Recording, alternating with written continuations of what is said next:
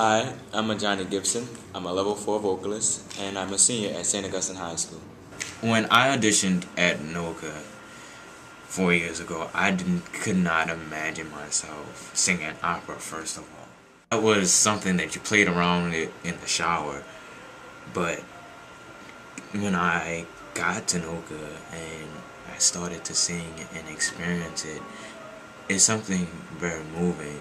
I would have never thought that I would be singing in Milan or performing in opera scenes or even going to an opera. Uh, my parents, of course, have shaped me because my parents, they're strict to a point, but at the same time, they let me breathe and they allow me to feel my way around things allow me to experience life for myself, but they guide me.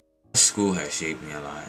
Being involved in my school and being what my school stands for has really shaped me and strengthened me a lot in life, life issues, things that I, with the real world um, things. In my art, of course, Miss Trago, Miss James, Miss Copeland, they've shaped me a lot because they took a, big clump of clay and has formed something that I call myself as an artist, which I would have never, never, never thought of in my wildest dreams. Something inside of you is telling you, okay, just go ahead and do this. This is what this is what's going to what you're about, you know. You have a gift and you have to use it.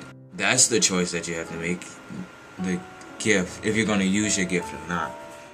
Take a step, you take a leap, and you do it. You go for it.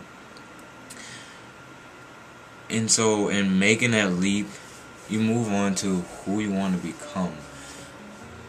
I want to become a person that will help someone no matter what I'm doing, be it singing, be it conducting, being a philosopher, whatever I choose to do in my life, I want to become someone who will make a difference in someone else's life. Being an inspiration to someone, being like the Miss Tragos and Mr. James and my parents and my teachers and saying, oh, those being some being someone like those people who who make an, a lasting impact impact on someone's life.